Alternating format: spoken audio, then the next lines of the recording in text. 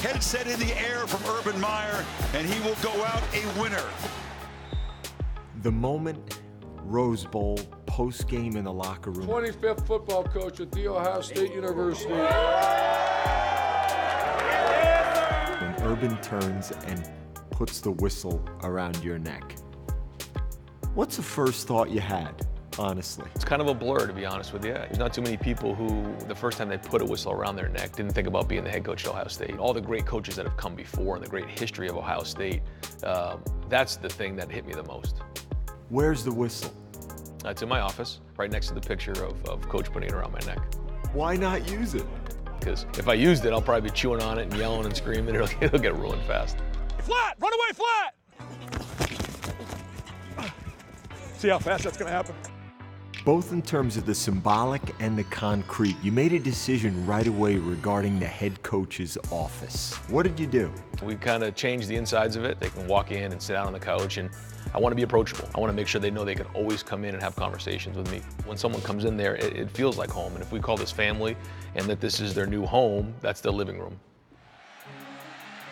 You know Urban as well as anybody, and you know that in March or in April or any day on the calendar, it could feel at any moment like fourth and one.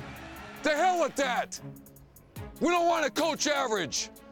I don't want to be around you. Why be around average?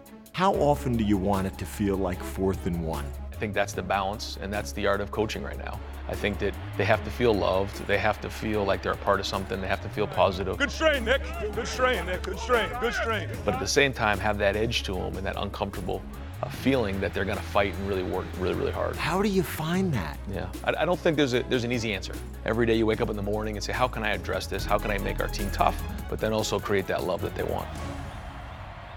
I just want you to tell me, as I show you this picture, what you see. Okay. Okay, I know exactly what happened here. We were at William & Mary, it was a tough game, and I kind of launched myself into the end zone and scored. At that point, it was within a touchdown. We actually lost the game, and that hurt when I landed on the ground right there. Into the end zone for a touchdown, Ryan Day. How would you rate the athleticism of the quarterback in that picture? Not as good as it might look right there, no. Fields off his back foot. Another Buckeye touchdown. You haven't lost as a head coach here. What kind of loser are you? It won't be good, but uh, we all are going to do everything we can to win and make this great and be here for the next 20 years. But, you know, when something doesn't go well, we have to hang in there and handle it like men. Good ball. That's the timing right there. What's one thing you could not have known prior to that whistle going around your neck that you know now? You can say all you want that you understand what it means to carry the burden of uh, the wins and losses of Ohio State. It's on you at the end of the day. And uh, there's nothing that can prepare you for that because I know what's at stake. I know what these people expect.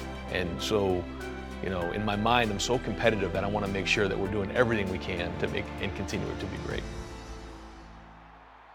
We're so glad you're watching ESPN on YouTube. For more sports and analysis, download the ESPN app. And for live streaming sports and premium content, make sure you subscribe to ESPN Plus. We'll see you there.